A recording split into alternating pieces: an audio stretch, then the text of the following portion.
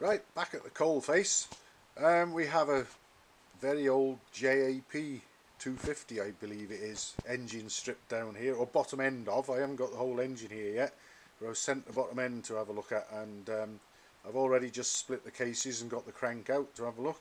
And um, we'll have a look at the crank cases in a moment, but the main bearings and everything appear to be new or as new, and the big end feels very good with um, no discernible play in it. And if I rotate the crank admittedly with between centres again as I usually do I can see that there's perhaps a half a thou if that movement on that gauge. And we've got two thou on that one. They are actually going in opposite directions so we have got an overall run out of two and a half thou maximum there it's probably not quite that actually when you allow for the fact that I've got the um, probes of the gauges at an angle. Um, they're not quite vertical but that's because of where I want to pick up my measurements and uh, obviously the clocks would end up fouling the flywheels if I got them too close and upright.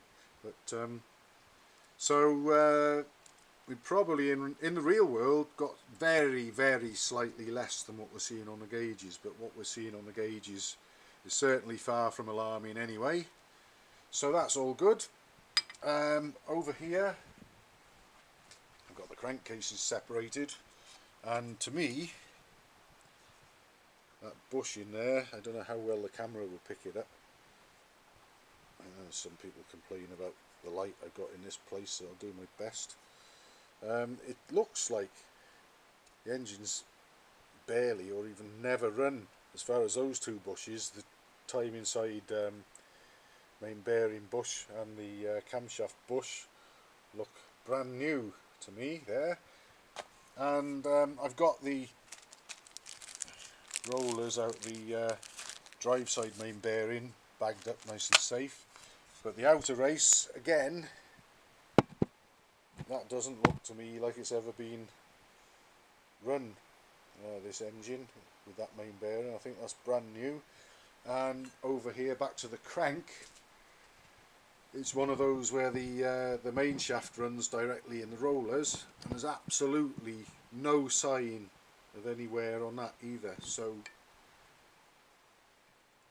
going by all that and the feel of the big end I would be quite tempted to leave it all well alone but if the owner decides he'd like me to split the crank and take a look because apparently he's thinking of even possibly tuning this engine a little bit and there was there were thoughts of possibly lightening the flywheels a little but um, it might be best to let sleeping dogs lie and sort of quit while you're ahead but um, that'll be discussed and we'll see what we do next. But certainly the bottom end of the JAP engine is to all in intents and purposes like new so I'm pretty sure that'll be good news for him and uh, a very good start to the project.